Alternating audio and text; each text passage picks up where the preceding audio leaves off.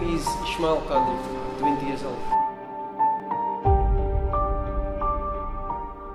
Okay, so I started boxing at the age of 14 and the reason being was uh, my parents, they were going through a divorce and, and through that, through going through that, I had a fire burning inside. It felt like there was something burning and some, there was a desire. So I had a lot of anger and, and through that anger, I, I made dua and I asked Allah to guide me through through this and help me find something that, that I can use this anger on. And uh, I found boxing and this is what I want to do with my life. I'd like to be like besides having the belts and everything, that's nothing at the end of the day. It's having that platform and using that platform to spread Islam, positivity and, and hope.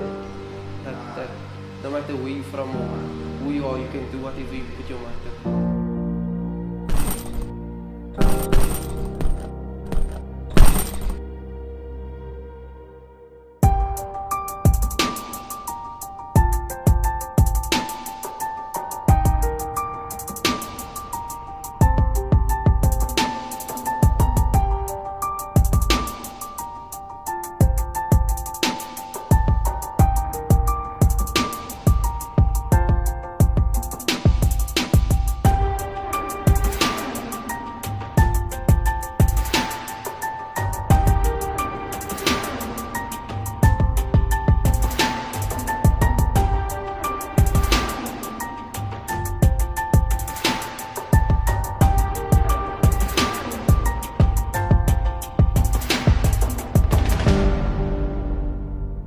So, Father, I'd like to send out and, and hope that Ishmaeel inspires, you know, others to be just like him, you know, whatever you aim for, you can obtain through Allah's grace and His mercy.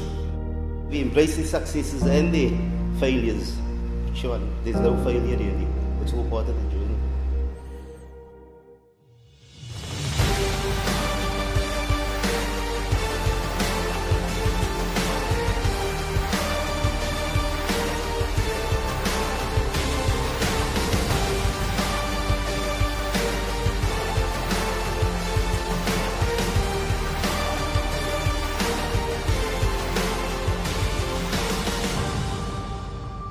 You want to be world champion or what? Why are you doing this? I want to be world champion. This is the only way.